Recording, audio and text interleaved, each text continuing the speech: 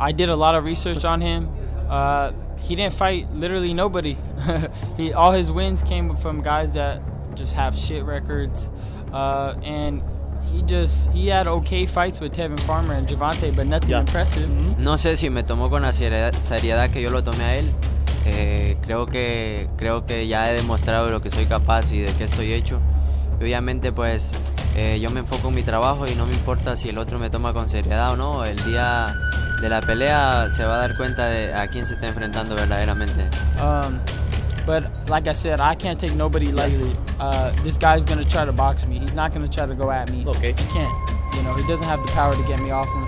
So he's gonna keep away for a long time, and I'm gonna just press the fight like a Mexican fighter in his face, but smart. You know. Yeah. No, no lo veo Luis así. Creo que eh, es un peleador eh, corriente. No es zurdo, no tiene tanta movilidad como lo tiene Farmer, como lo tenía Yerbonta.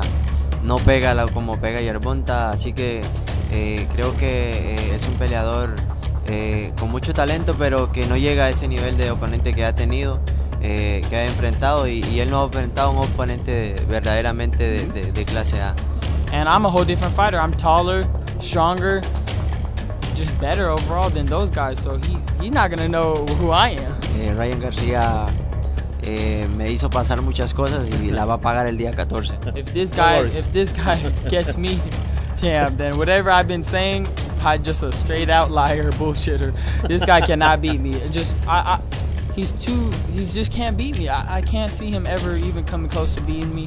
Bueno, que vengo listo, que espero que me haya tomado con seriedad como yo lo tomé a él, me preparé a conciencia eh, durante estas nueve semanas y vengo a un 100% y sin ninguna duda sé que voy a ganar el día 14 y, y va a tener su primer derrota.